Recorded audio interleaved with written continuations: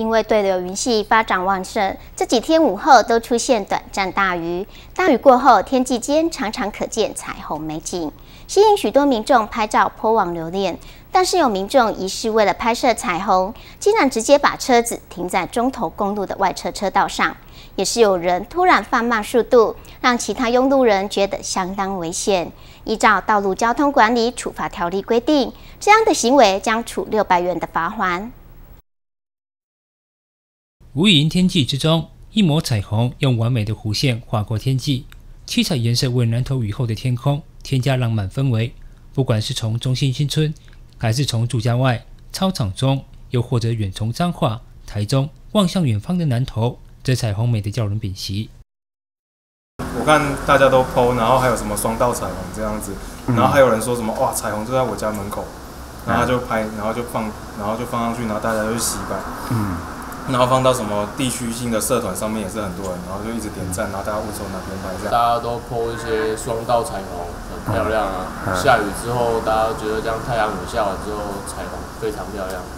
每个人都一直在发这个讯息，大家都想看到底是在哪里可以拍到这样漂亮的情景。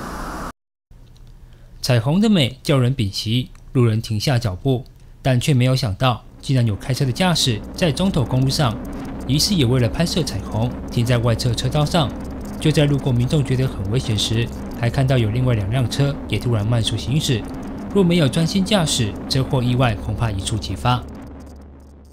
我觉得很危险，因为觉得彩虹虽然很漂亮，可是不需要就是做这么危险的事情。因为快速道路毕竟那个是不能就是这样随意停停车。我觉得旁边的车速很快，这样子其实不只是自己的生命安全，然后别人其实也会受到影响。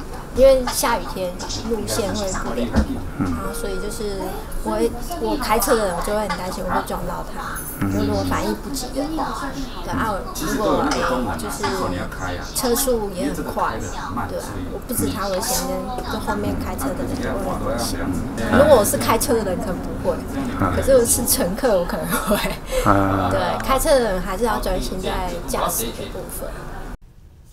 交通队表示，突然在公路上临时停车是可以依法开罚的，最高是六百元。